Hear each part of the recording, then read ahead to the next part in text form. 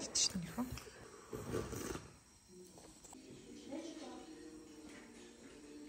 Яа, нохонуудын нь амар нэртэй юм ба. Алга яваарай. Байж байгаа.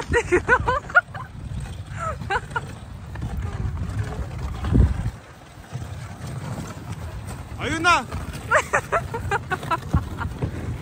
Аа, юу лаач.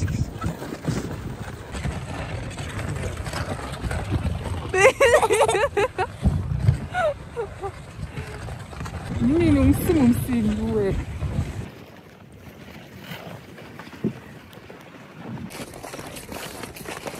Зүс явж байгаа юм аа. Та ярьцтай. Та ярьчих. Миний нэг жижигхэн чон яваад байгаа шүү. Ямар энэ минийхөө? Өөрөө унсан чинь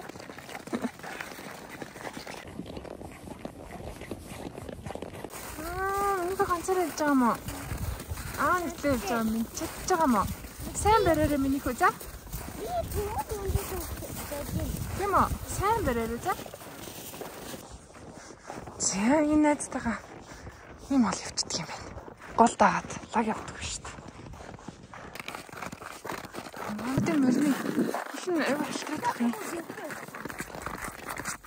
Энэ мөр зүгүрлэх шиг юм байна. Гур аяг ашиглах юм. Мөстөч яагаад юм бэ? Энэ зовт юм чи. Эмнийхээ. Оо е, болж байгаа мó. Аа, нүтлгөөг тавьсан ирж байгаа юм.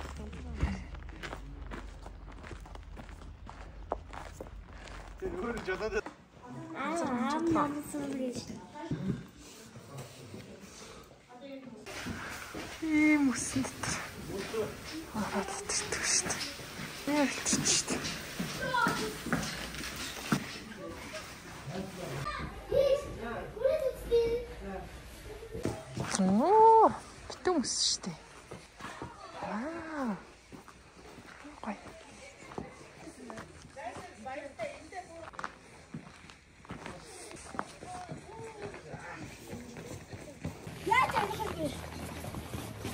Яаж амирх юм бэ ч гэж. Тэг юм байсан уу? Нэг хүрээ 2000 шаардсан шүү. Аюултай 15.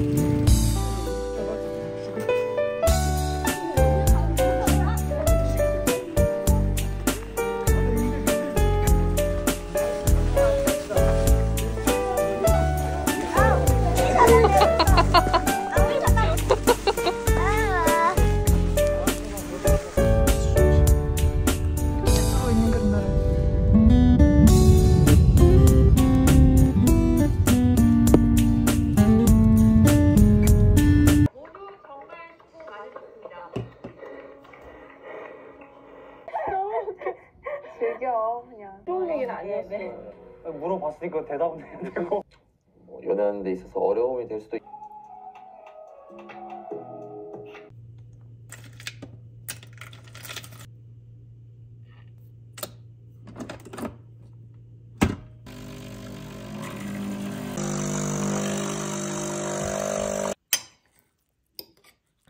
대박. 대박. நீங்கள்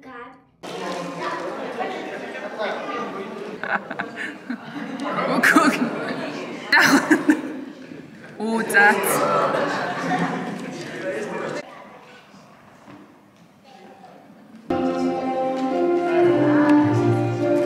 Хүндэт гэрчүүдийг өчир эрдний хормын яслыг гэрчилж гэрлэлтийн баримт бичигт гарын хэсэг зурхыг хурж байна.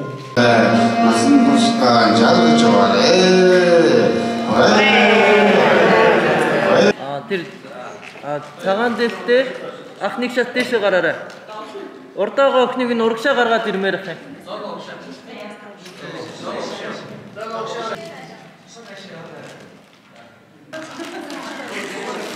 За өдрөөс харж байгаарай авлаа. Бүх цааш доошо буучаад. Эмээ өвөө хоёрыг лефтер лефтер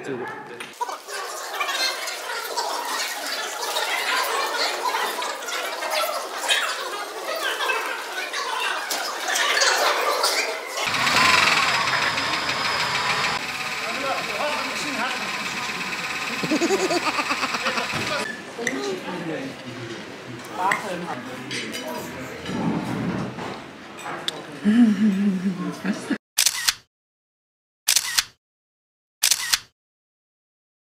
За орой хоолоо гэрэгэндээ хийж өгчүүд найзтайгаа болцох чинь. Ойрт уулзаагүй. Ер нь гэрээс би ерөөсөө нөгөө hang out хийх гэж м хоол идэх гэж ч юм уу тий одоо юу гэдгийг шоудах гэж ч юм уу ерөөсөө ерөөсөө гарсангүй. Тэг манай нөхөр сая бүр хөө гар гар гар карт авах гэж баярлж баярлаа.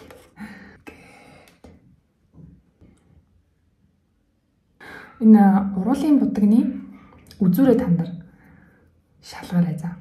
Ийм бүрийн поинти ийм үзүүртэй тий хурц сайхан бол айгүй ambitious, юм лээ. Миний бүх будаг ийм бүр бүр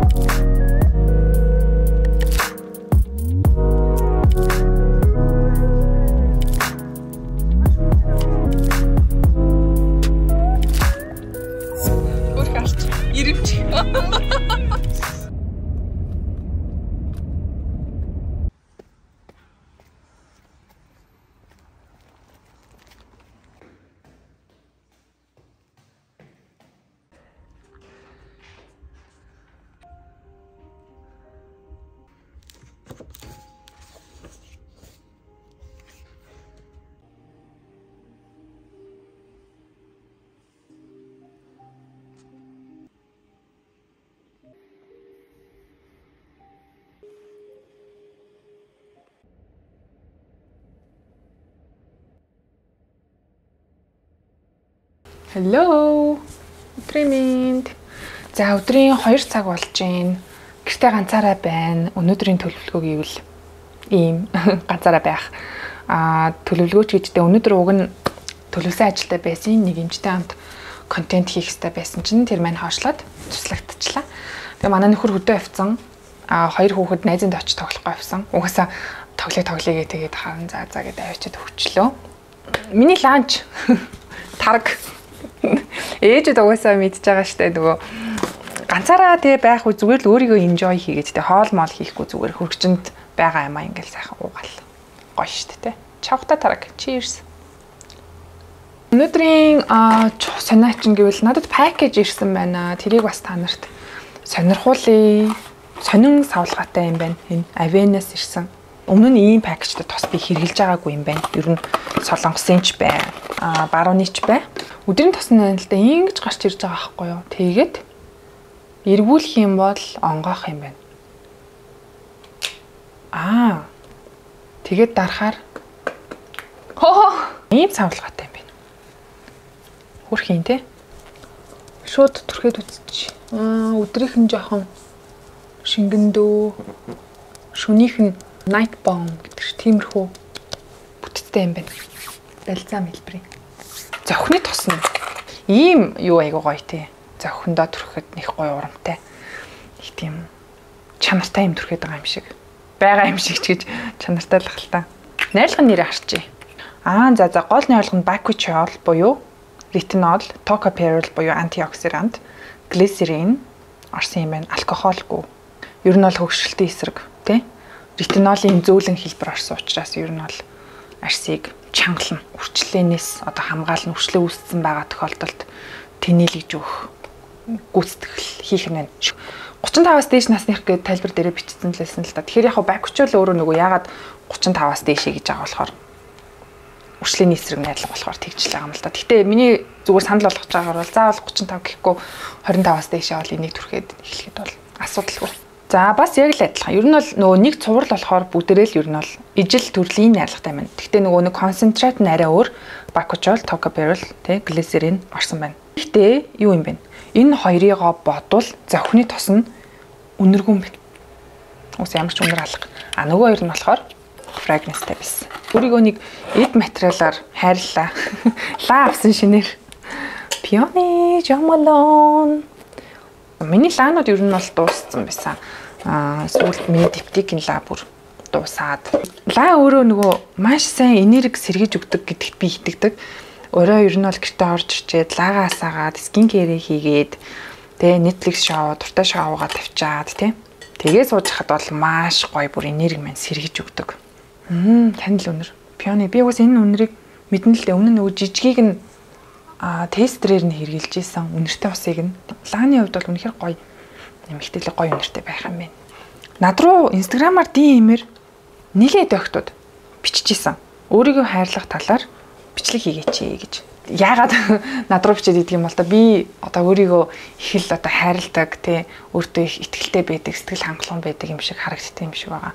Харагддаг ч гэж ер нь бол тийм л дээ өөртөө их ихтгэлтэй а өөрийгөө ерэн зүгээр дүгнэж бодох юм бол те ер нь л өөртөө ихтэй. Тэгээ анханасаа юм байсан бэ гэвэл үгүй.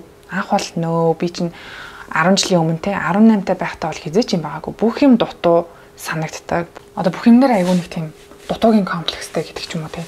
Тэр яг нэг нэг юу л байсан бах. Өсвөр насны тийм л байсан баг. Тэгэхээр энийг бол хүн болгоно л яг туулж гарч ирдэг юм шиг санагдаад байдаг шүү дээ. Эхтэй ч бай, эмэгтэй ч бай. Хүн болгоно чинь өөр өөрснөө гэсэн өвөгдлөөр амьдарч байгаа. Одоо хувь тавилан одоо заяа юу гэдгийг тэг хичээл зүтгэл те хүсэл мөрөөдөл тэр бүгдээрээ явж байгаа учраас яг нэг тийм нэг цөм томьёо заавар чиглэл гэж байхгүй шүү дээ тий.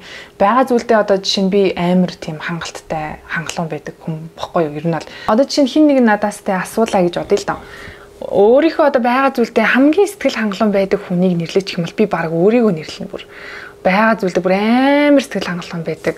Ерөөсөө илүү юмд яг уу шунах гэдэг чинь өөрөө нөгөө шуналгүй л яах вэ? Мэдээж шунаад.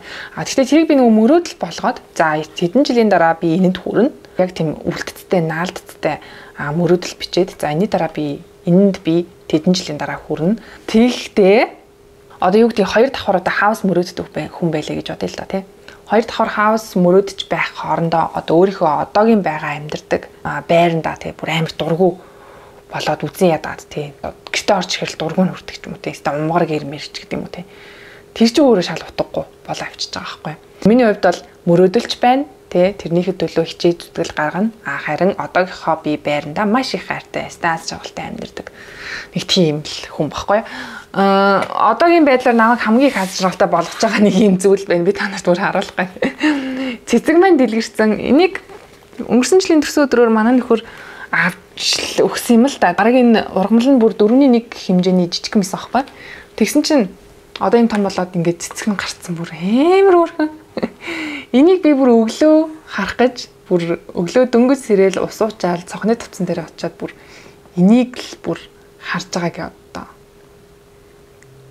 so happy болгож байгаа намайг. За тэгээд энэ влогийг үзсэн баярлалаа. Дараагийн 7 хоногор уулзъя. Ямар хус сэдвэр бас ярилцмаар байгаагаа бичиж болно шүү. Гэхдээ би тийм одоо ярьдаг төрлийн хүн биш. Бай бай.